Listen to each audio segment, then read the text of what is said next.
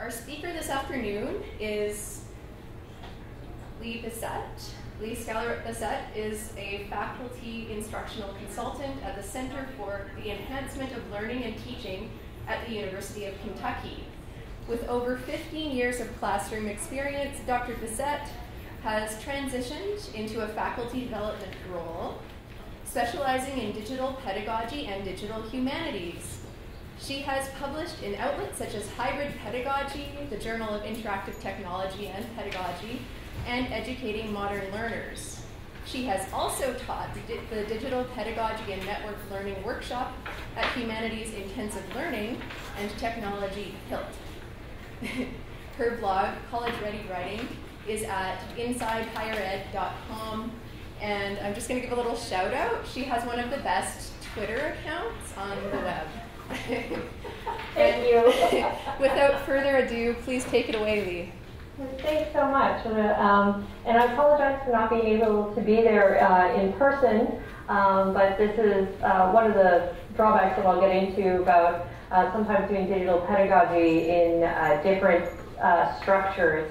So this talk is going to be a little bit different um, because what I'm looking at is more of a um, 10,000 foot view and really asking the question of how do we support digital pedagogy um, at the institution, uh, at an institutional level, and not just at a classroom level? How do we really make those cultural changes to embrace digital pedagogy? And I would argue that one way we could do it is through teaching centers, but it's not necessarily that simple. Um, if you'd like to follow along with my presentation or view it later, um, the address, I don't know how well you can see it, is up there, but it's bit.ly slash dig, digped 2015. So basically the hashtag for the conference um, is going to be there.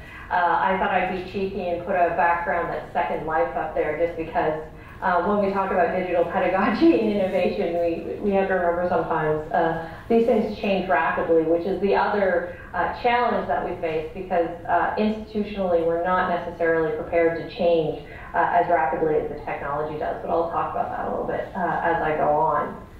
So you already introduced me, but um, for my Twitter handle, I am Ready Writing on Twitter, and I do have a Twitter uh, my TweetDeck open. So if you have any questions or anything, uh, feel free to at me on Twitter and I'm following along with it uh, as we go. So if I get distracted, that's the problem.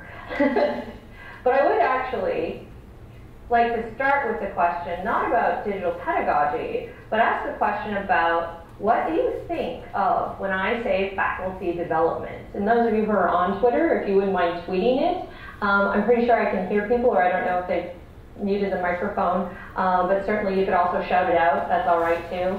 Uh, in that way, I wasn't sure what the interface was going to be. But really, um, what, what do you think of? It's a room of people who are very interested in, in digital pedagogy, practicing digital pedagogy. But when I say faculty development, what do you think of?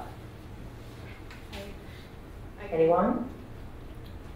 Watching the Twitter? I'll sing the Jeopardy song. I'm just watching the room to see if there's any questions. Training. Um, training. Oh, something about training? Yeah, training. I have uh, from Paige. Hi, Paige. Uh, all day staff retreats. Anyone else? Training. They need to warm up a bit, I think. Yeah, I think I need to warm up a bit. I need to do jumping jacks or something. Needs Needs um, assessment. Needs. Oh, we have um, needs assessment. Needs assessment, okay. So very. Anything else? I want to. I, I want to give people a chance, and really, and, and okay, I'm not going to be offended, right? I'm in faculty development, but you will not offend me um, by any of this. Does anybody, let me put it a different way. Does anybody, when I say faculty development, go, yay, faculty development? Hooray! Yeah. Uh, no one's really, uh, and somebody saying on um, Dr. Walkerwell on Twitter says, I think more work. And a lot of the times, um, not necessarily uh, for faculty development, a lot of people think, uh, faculty will think busy work. Um, they'll think not necessarily um, uh, productive work. And um, what really inspired me to ask this question, and something that I've been that I've been um, you know shaping in my mind particularly is this disconnect, a disconnect that we have, um, particularly in the digital pedagogy realm, um, between what we think of as digital pedagogy and good digital pedagogy professional development practice and what we think of when it comes to faculty development on campus. Um, and maybe what faculty development is on your campus. And part of this came from a tweet from uh, Sara Goldrick-Rab, where she was at the Digital Pedagogy Institute that was held at the University of Wisconsin Madison um, last week, two weeks ago, um, last week, and she, you know, she tweeted out saying that this is the first professional development I've ever had for my teaching after 11 years at UMadison, and I had to pay for it. Now, this does not mean, and I know because they advertised the position this year, there is a faculty development center and um, a teaching and learning center on UW Madison, but then it becomes what is this disconnect between one of their faculty and the center having to go outside of the center to receive their, um, their faculty development that they're looking for and that they want. And one of the things that I, that I think of and that I posit, and it's a hypothesis, but the digital pedagogy has largely evolved outside of the traditional teaching and learning center, and one might even say outside of or alongside or at the margins of um, the institution of academia itself. Well, that sit for a second. So digital, let's think about how, and then think for yourselves how you came to digital pedagogy and how you came to be practicing digital pedagogy. Was it through institutional means or was it through personal private means, your network, word of mouth, uh, et cetera, et cetera? You know, how how did you learn it? How did you train in it? Where did you find out? And I bet, I, I do a show of hands, but the camera's frozen. Um, I bet that uh, many of you, it would not be through formal, but rather informal means. So most people, and again, I didn't know this until I got into faculty development, and that's fine. But what I want to do is give a brief history of faculty development, at least has, as the discipline um, or profession sees itself as faculty development, because it's not a very old um, uh, and long-standing um, long-standing practice within higher education. Uh, and so, according to Creating the Future of Faculty Development, um, which is a, a seminal text uh, for us, uh, there were five ages of faculty development the age of the scholar, the age of the teacher, the age of the developer, the age of the learner, and now we are currently, they argue, in the age of the network. And really, uh, what we're talking about here is uh, initially it was about the professionalization of higher education in the age of the scholar, so not just about teaching, but about um, as tenure got more and more commodified, um, professionalized, really looking at those. The age of the teacher, when it became uh, clear that um, needed more, uh, more focus on helping faculty become better teachers. Uh, the age of the developer, again, then it, the focus became more inward. How can we become better developers to help faculty become better scholars and teachers? The age of the, the learner, where we turned more student-centric, where we became a large part of student success initiatives. And then the age of the network, which um, uh, is still a negotiated and contested space because when uh, faculty developers talk about networks, they don't talk about the same thing that we talk about uh, in digital pedagogy when it comes to networks.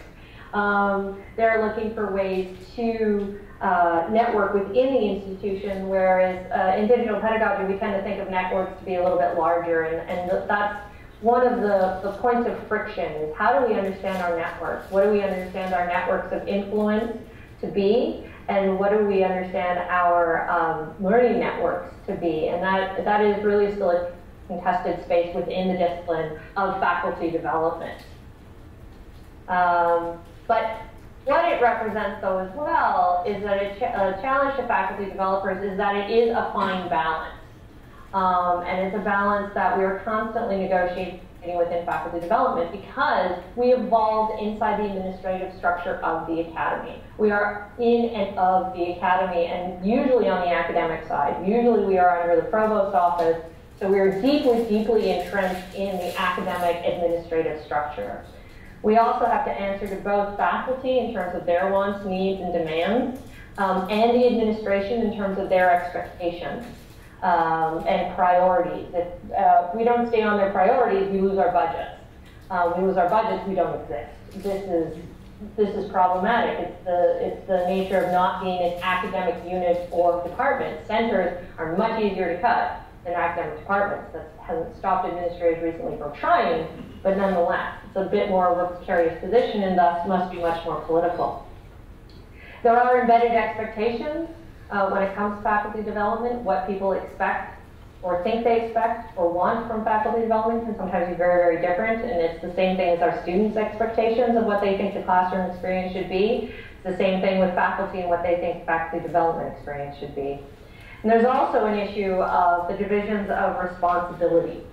Um, who is, and we're going to get, I'm going to really come back to this question, is who is responsible for um, particularly digital teaching and learning on campus? Uh, and I want you to, uh, again, sit with that question a little bit because we're going to come back to it. And I really want you to, to have that is, is who's responsible for that? Who's responsible for the digital end of teaching and learning on your institution? Or at your institution, not on can tell I don't have this written, but I'm not reading it. so, what is a academic presentation without pictures of cats?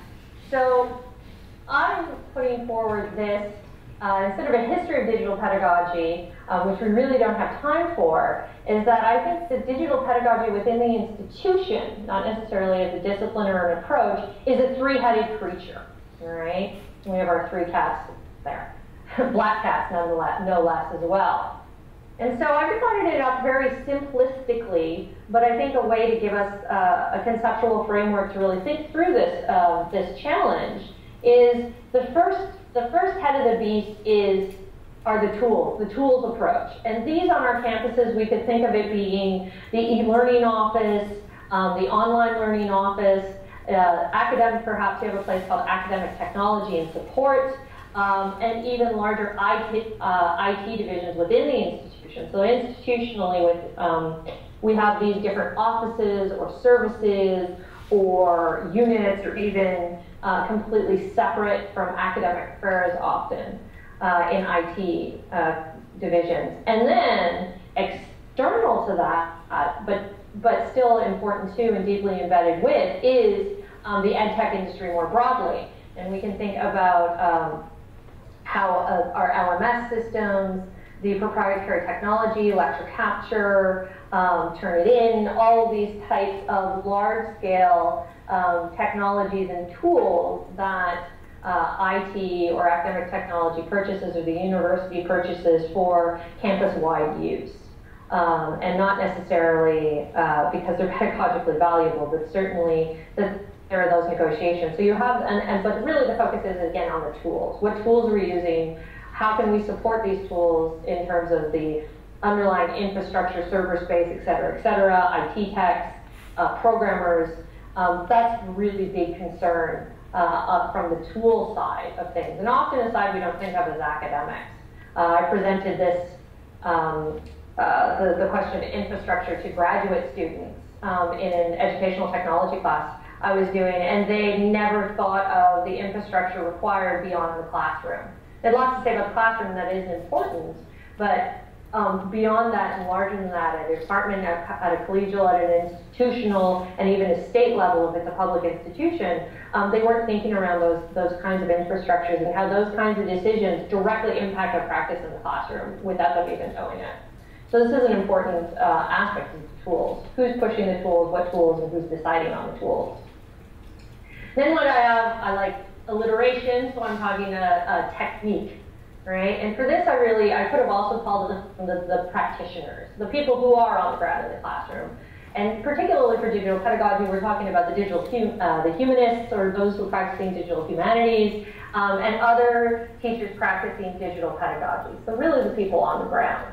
Um, a lot of the people who you will be hearing um, at this conference are uh, talking about the technique, right? Putting the tools into use, the technique, so, so to speak. And then I would add a third category, and not that these categories are mutually exclusive. There is overlap. There's a Venn diagram, but I would say the philosophy or the philosophers.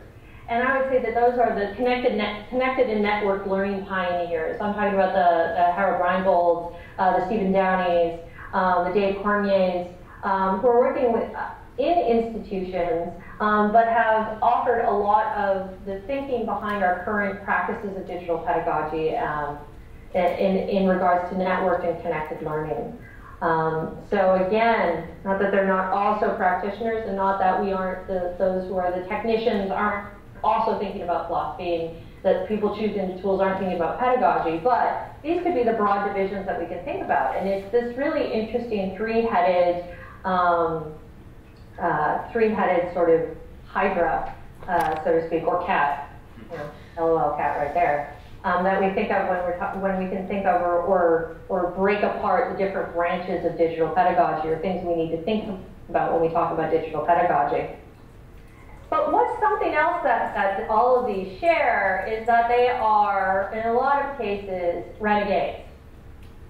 Maybe not IT on campus, um, but certainly they, they act often outside of the, um, the, the, academic side. They aren't often under the provost. They are under a different unit on campus. And then you could, you know, the ed tech industry um, uh, relies on uh, the mystique that they are all renegades or innovators or disruptors. Um, but certainly, uh, I, and I speak from experience, I speak from speaking to others, um, and from knowledge from my network, those people who, who practice digital pedagogy often do feel like renegades within their own departments, within their own institutions. Um, and same thing with those who are the pioneers in terms of the philosophies um, underpinning and informing it. Um, these are renegades. These were things that were that are evolving and continuing to evolve, but often outside of or at the margins of um, the structures uh, of uh, uh, traditional academia, which is a very, very different place from where Centers for Teaching and Learning and Faculty Development have been evolving and deeply embedded. So you have these two, if you could see my hands, I'm talking with them, um, these two often conflicting um, spaces. You know, you have the space for the renegades and then you have the space for the entrenched. And so how do you make those two things play nice with one another when you know, that it's not exactly a, a perfect or a wonderful fit in that way. And some of the ways, and it's not that there hasn't been faculty development, professional development through digital pedagogy, and some great examples are things like THATCamp, uh, the Digital Humanities Summer Institute, DHSI or HILT, which I taught at, um, the Digital Pedagogy Lab I was referring to before, um, Wisconsin that just started up, and also even the larger virtual network of um, uh, HASTAC, uh, but again, these are, HASTAC's a bit of an exception, but most of these, again, are uh, taking place outside of the traditional academic structures. And again, um, teaching and learning centers, I think, have something to learn from that, but it's very difficult to just simply straightforward adapt them um, because they are so outside and the centers are so entrenched. So I'm coming back to the question, is who is responsible, and here's the warm and fuzzy one, who is responsible for supporting and nurturing digital pedagogy, right? Who, right? Is this something that is strictly up to individuals? Um, or are there systems in place that help support and nurture the growth of digital pedagogy, not just in individual classrooms, but in entire departments, entire colleges, and entire institutions? The less warm and fuzzy way, but unfortunately, I think more important way of thinking about it in contrast is the question of what is the infrastructure for growing digital pedagogy? Because that's the other important part.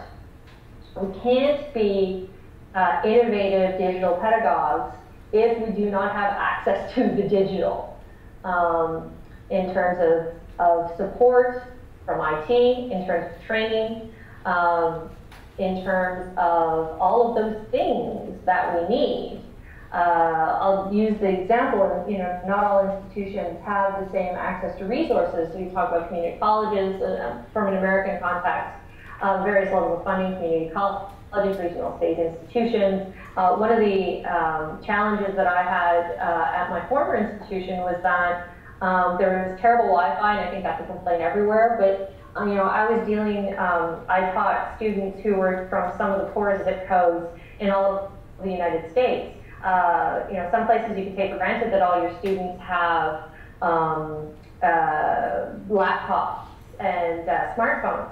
Whereas we had students who go home for the weekends and couldn't even access the, uh, their Blackboard accounts because they had dial-up. right? They didn't have actually even have access to high speed. And then even within the classroom, what kind of uh, Wi-Fi is there? Do your students have any connectivity? And what kind of technology do, do you as an instructor have access to? I had an old computer that was about to stop working because Windows was stopping to support, you know, Windows 2000 that was still on the computer. This is, these are these are important questions. Like you can, um, there's there's nurturing, but then there's also the infrastructure support, and and those things are are again a balance, um, and are both necessary if we want to support digital pedagogy at the institutional level.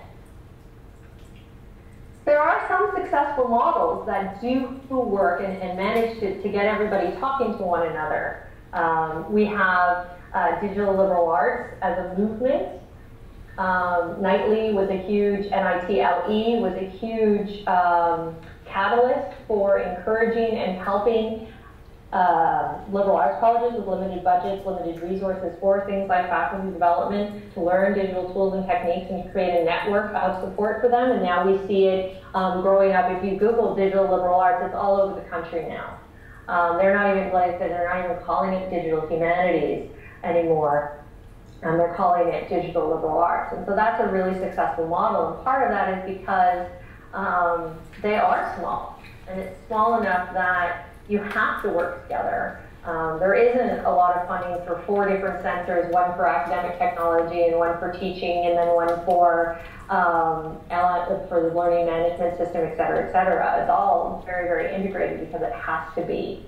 Um, and teaching is, again, the priority of the institution, which makes a difference as well. There are also increasingly teaching and technology centers. Um, this isn't always the case. I can use an example of our own institution where um, we are the Center for the Enhancement of Learning and Teaching, but there's an entirely separate unit under a separate branch of the administration um, for e-learning initiatives, so for online um, and hybrid learning. Um, and so you know, two separate systems, two separate uh, chains of command, um, and honestly, two separate priorities, but you can, sets of priorities. So if you can integrate those two things in teaching and technology centers, and there's some really great examples um, in Virginia, uh, I think in particularly of, of, Virginia Commonwealth University is a really, really great example of um, a center that, uh, that integrates the two really, really well and are thinking the questions of technology and pedagogy, and the two aren't separated by um, administrative barriers. And another one is also digital humanities and libraries. Um, again, libraries can be a place where um, we can talk about uh, pedagogy. Florida State is currently trying to um, build uh, digital pedagogy within the, their library system. So there are some examples there, but it's a, but it's a question of bringing people together um, and not separating them. Uh, that, that represents uh, models that are most effective. Now, again, um, that's not always possible, but it's aspirational. Again, what are those obstacles? I mentioned them a little bit. Is we have competing priorities. What is the priority of your e-learning division? Um, is it to just put as many classes online? Is it to do so as efficiently as possible? Um, is it to provide technologies that they can get at the best price? Um, is it, you know, what, what, are the, what are the priorities? What are the priorities of the, the provost? What are the priorities of individual colleges? What's the priority of your teaching and learning center as it is currently written? Um, these things, uh, they often will come into conflict and lead to barriers for larger institutional change or even conversations around digital pedagogy.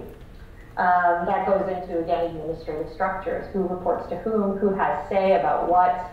Um, I told my, again, I told my grad students last year that the most important committees that they could possibly be, potentially be on as they move through their careers are those committees that evaluate educational technologies for the classroom. Um, because they so directly impact the day-to-day practices and we just take them for granted. They all sort of laughed at me and looked at me funny, but it, it, these are important questions. As I mentioned earlier, lack of physical infrastructure that your institution may or may not have and be able to invest in. Uh, entrenched institutional culture, what are the expectations of your faculty? Um, we have, uh, again, a culture where we're expected to give um, short, brief, one-off workshops um, uh, that follow a certain format. Uh, whereas longer term changes, uh, those are harder to come by and harder to convince faculty to attend. And also there is the accusation sometimes this is coming from digital humanities, that it is too uh, humanities focused. Um, it's been a long and an accusation, or not an accusation, but a challenge um, that, uh, particularly in our one institution, we have a medical school, we have nursing schools, we have um, engineering and all of that, where they're like, well, what is digital pedagogy? Because it sounds an awful lot like digital humanities. What does that have to do with us?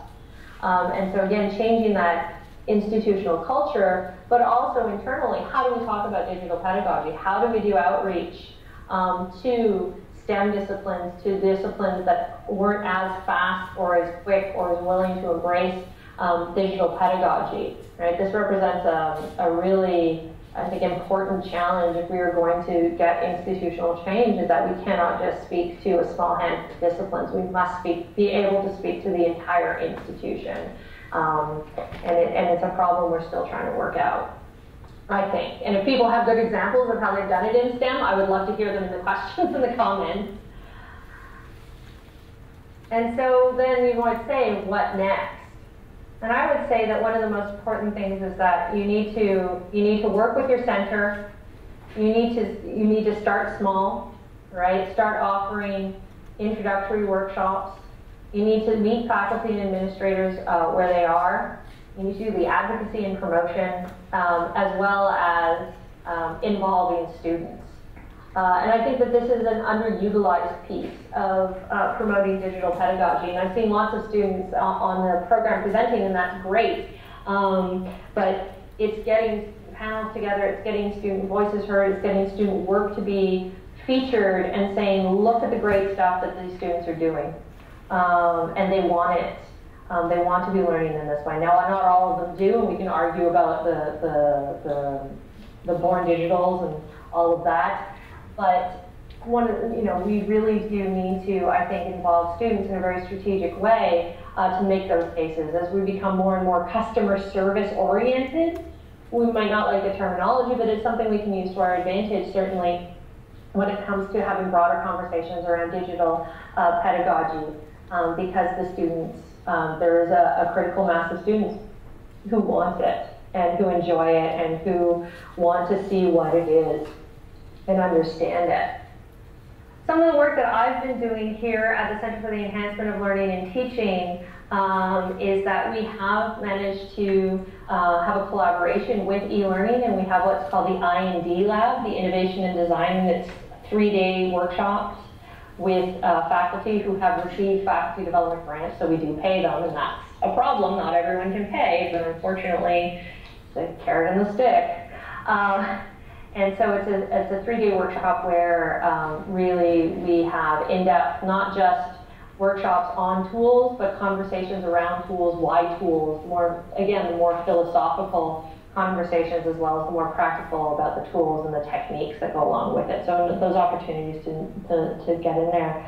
Um, we do a lot of introductory workshops. Uh, I do, uh, you know, as simplistic as it may sound, I do an intro to Google Docs workshop. And um, every time we offer the workshop, you get people who have never logged into um, Google before. And then you, have, you know, the first thing we have to do is activate their Google account. And we have to show them, you know, this is a Google Doc. And then, you know, really start them at that level, meeting them where they are. Um, because once they get it, they really get it. But uh, you, they, it's intimidating to them. They're scared of it. Um, it's something that they don't know. It's something very foreign. And they're not likely to necessarily jump at it.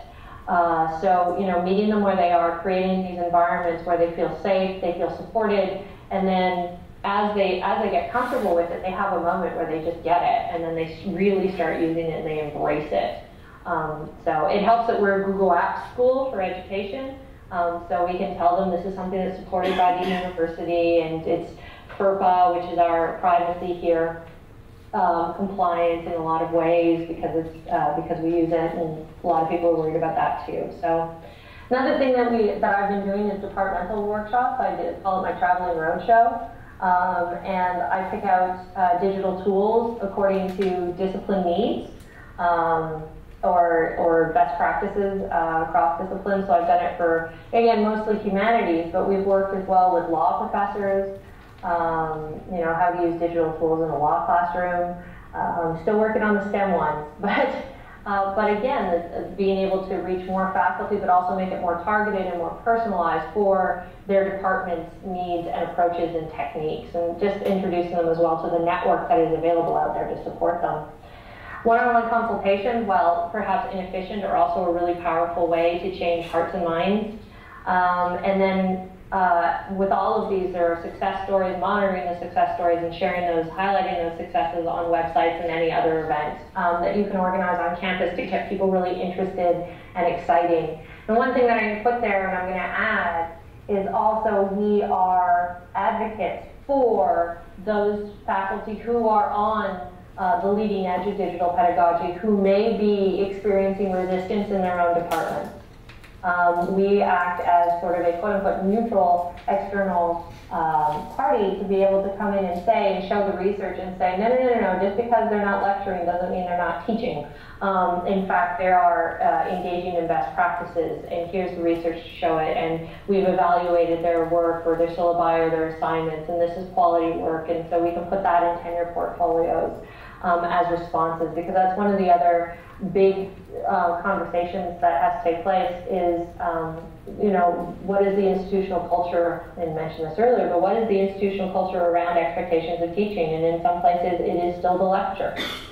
Um, so to be able to advocate on behalf of faculty who are breaking that mold in environments where it might not be as encouraged or accepted. And that's an important consideration as well, because unless you change that culture, you're not going to be able to change the individual practices. So, I think I did pretty well for time. Um, does anybody have any questions? Did I forget anything? Do you have any huge pushbacks to my three-headed hydra monster of digital pedagogy? have about it.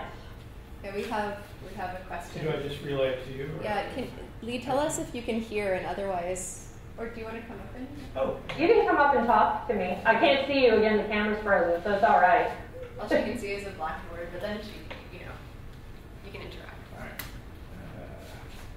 Uh, what do I talk into? Uh, I can hear you. Hi, my name is Peter, and uh, English Department, University of Toronto. Just finished my PhD a few months ago, or defended it.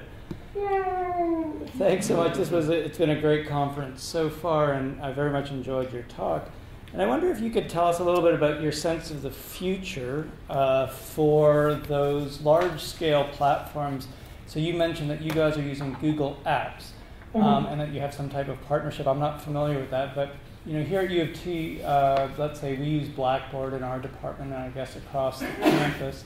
I'm wondering what what, do you, what are your thoughts on the future of platforms? Because I know that uh, signing in and registering for things requires multiple usernames and passwords and whatnot. And do you see a simplified single kind of platform in the future that universities will be using, or will it always remain a kind of fragmented approach? Depending on the preferences of individual universities? Um, I think that we're starting to see it more as a unified approach. We've moved, we're moving from Blackboard to Canvas as our learning management system, and Canvas is much more integrated, and so students don't have to log into Canvas and Google Docs. They just have to log into Canvas, and if I give them a link to a Google Doc, it just takes them there. Um, so there is that level of integration, and some of the learning management systems are starting to address that. But the flip side of that is, is then um, some faculty are hesitant to use any tool outside of the uh, learning management system environment, right? So some tools I saw, what was it that um, people were just tweeting out? Storyline, StoryMap, StoryMap. So there was, I was watching the Twitter stream and people were, were using story maps and um, I love those, those tools, and I introduce them to faculty very often, and faculty are resistant because they're like, oh, does it work in Canvas? I said, no, they have to go out. Oh, then I don't want to use it if it's not in the learning management. There's something very comforting about the learning management system in a lot of cases, so I don't see it going away really um, anytime soon, um, but I do see it in something like Canvas as, as evolving um, towards uh, one login to rule them all. Uh, which is what Google is trying to do as well. Um, but it's it's uh, it's it's a, it's a changing different thing. As long as there is subscriptions to be paid, um, you know, it's always going to you're always going to have to have that balance, and you'll you'll have faculty who will continue, I think, to use um, all the things on their own um, because they find them pedagogically valuable and they just really want to use them. But it's the, the middle group is, is trying to find that balance between the comfort of the LMS that they're used to and the great tools that are out there that they could be doing really cool things with. Okay, great. Thank you very much. You're welcome. Okay, is that even a good answer? but it's a hard question. It was a Yes, really good question, one that we're that we struggle with. He, he liked your answer. Is there anybody else who had, would like an opportunity to speak to one of the foremost, um, I don't know, in my universe, experts in this? Oh goodness, you're making me blush. Now I shouldn't have put myself on here. Did you did you see the photo that I tweeted of the classroom? no, Just I so that you didn't. can I see there's go human back. I was bodies. actually There's human bodies. I'll go back and do it. Did you tag me on it in it? Yeah, there's there's two questions. Oh, there you here. are. There we go. I just Even other end the. Skype, Skype first. That's a good. That's a good. Yeah. Um, you know, it, it's um, it's a question. You know, and, and I've been as I've moved into this new role, as I said, it's one that I've been confronted with, and that um, very often a lot of us don't think about. We think about uh, our classrooms, right? Our classrooms, our spaces, our practices, and that's important. And, and it's you know we value our students and we value student experience and we value their learning, and so it's very easy to to just stay in our classrooms and do our best for our students. And sometimes, again, the infrastructure is intimidating. We don't change very well or very quickly in higher education. Um, so we focus on what we can control, and that is very often, um, as much as we can, our classroom spaces. But to, to it's, it's uncomfortable and it, it's different to think about it beyond those spaces and think about that infrastructure. Um, think about the systems, think about the culture that is either um, helping or hindering more broad uh, adoption of digital pedagogy techniques. So if I provoked you into silence or stunned you into silence, perhaps, that's not necessarily um, a, a bad thing, but I hope that the I hope that it makes people think and that the dialogue can continue long after that and saying how do we do long-term support for digital pedagogy? Did you you said you I had just had a question if anybody else in the room was from the STEM discipline. Or if everybody here is Are you from the STEM? from STEM. Oh, we have a STEM person. Woohoo! Two- two I can't really hear them, so you're gonna they're either gonna have to come up or you're gonna have to repeat the It wasn't a question. question, it was just curiosity to kind of. Show of hands. Um, did you, you had a question? Yeah, Uh, you sure, yeah. Yeah, yeah. And you, I think, um, Lee, right now you can hear, right? Yes, yes. Okay, so you don't have to lean in or anything, you can just, okay, you can hear me? Yes, I can. Okay. So I'm one of the coordinators of the Digital Media Lab at our college, and the model that we do is that we offer to go into the classroom and do workshops for the students to teach them how to do various digital media, whatever the teacher's working with. But I don't quite know how to get the faculty to take over that aspect of it. So they always want us there in the workshop, holding their hands, holding their students' hands, coming into our studios, you know, holding their hand the whole time. So I'm not quite sure how to empower them and say, you know, release them and, and do it yourself now, kind of thing. Yeah, and that's tricky. Um, you know, we, we offer that. I didn't put that, thank you for bringing that up. That is something that we offer as well for the first time they're introducing faculty or introducing a new tool. They'll be like, we can come. Um, I, I mean, it's, do you do workshops for faculty though? I, I guess would be my question. Do you have a space where faculty can come? one of the biggest fears that faculty have is looking stupid or like they don't know what they're doing uh, in front of their students, right? We do do Um, workshops for faculty. We have a hard time getting faculty to come out to our workshops. They Mm. that's I tweeted out that it's dragging them kicking and screaming to come to, to the workshops. They're more than happy for us to come into their classroom and do the workshops, but it's hard to get them to come to us first, get them to learn first, and then work on their own. But we do definitely offer them throughout the semester and at, at our PD events at the college too. Yeah, and it might be a question of just asking them, why don't you come? you know, why would you come to our workshop? Uh, in, in terms of, is it, is it a question of time? Is it a question of format? Is it a question of motivation? Is it a question of fear? Um, you know, these are important considerations to try and design an experience that um, the faculty want to participate in. Um, you know, so it, it's, I find, I mean, and again, it depends on what the tool or technique is. Digital media is one of those very intimidating things. Uh, and in particular academics, we all get stuck in our areas of expertise, right? Like, I'm an expert in this, and you, I mean, if anything, they think they're complimenting you, right? It's like you are an expert in digital media, and so therefore, I will extend this invitation so you may share your expertise in digital media, whereas I am an expertise in my content. And so there's there's a lot of those that siloing going on in people's heads um, in that kind of way. And so it's it's breaking down those barriers and those silos too. Mm-hmm. Um, I don't have an easy answer for that one, unfortunately. Thank you. Uh, either, but good luck. I actually do have an answer for that because it was oh. something that oh, I good. was um, scared of. Um, hi, Lee, it's Paige.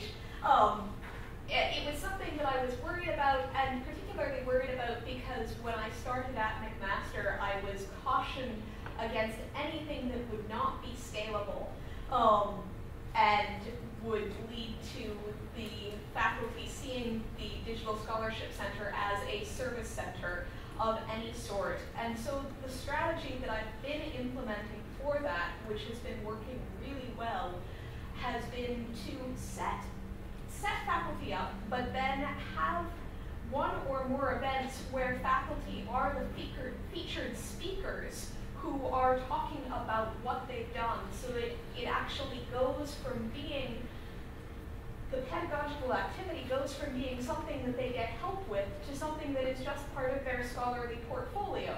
It's just something they do. It really helps if you can get someone like an associate dean or a full dean to show up and be there to praise the faculty while they're doing this because that does help, that really does help cement it.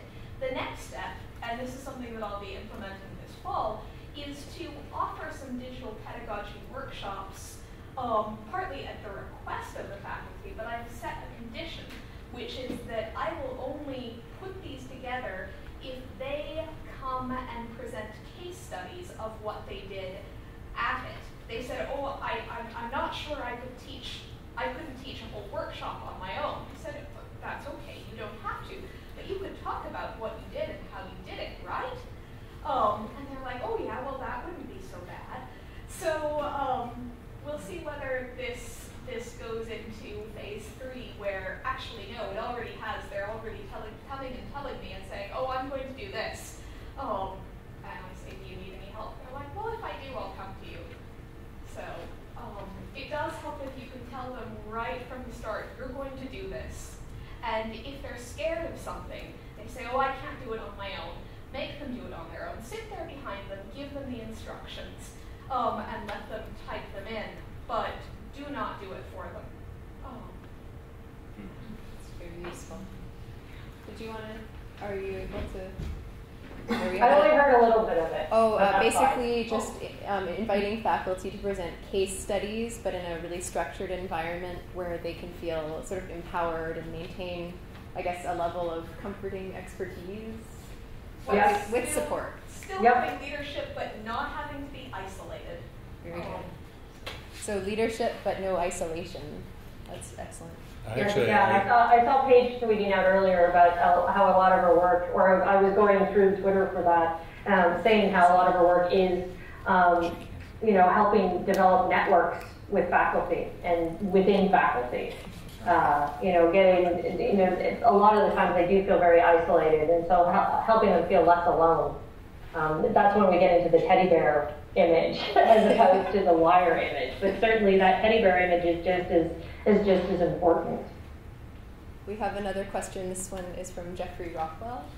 I was going to begin by saying I think I think there's a lot of great advice there about how to get faculty involved. There, there's nothing like helping them put something on their CV. I, I, oh yes. You know, annual reports. Uh, uh, now, my question was going to be a different one. At the University of Alberta, we've started to invest a lot in in really heavy um, very expensive digital pedagogy. Uh, we've been spending about a million per MOOC.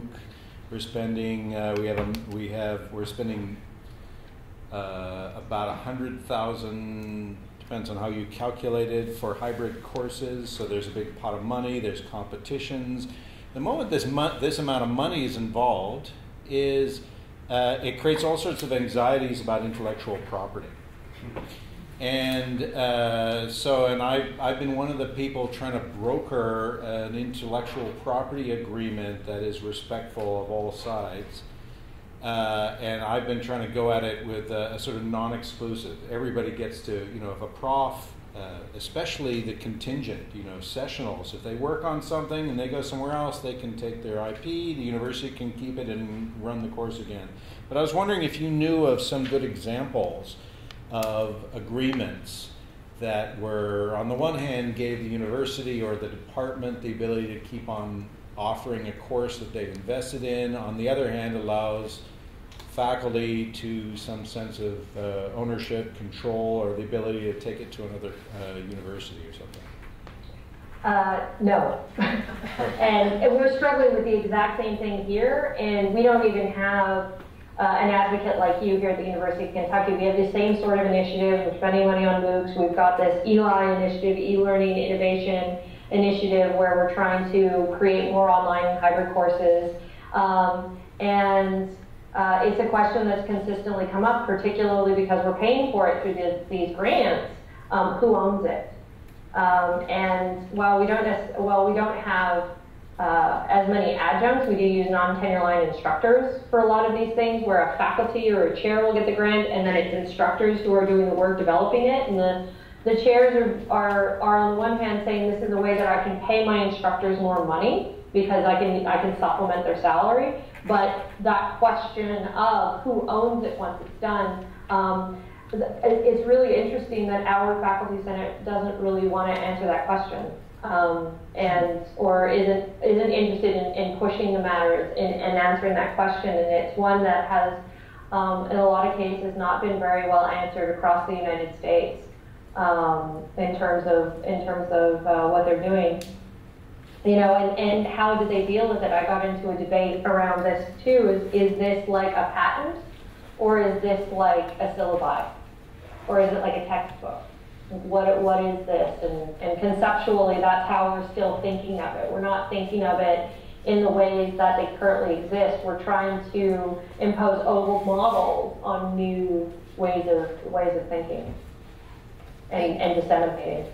Thank you so much, Lee. I think we've come to our time, but it was wonderful hearing what you had to say, and we really enjoyed the platform that you selected as well. So thank you so much. Yeah, go play.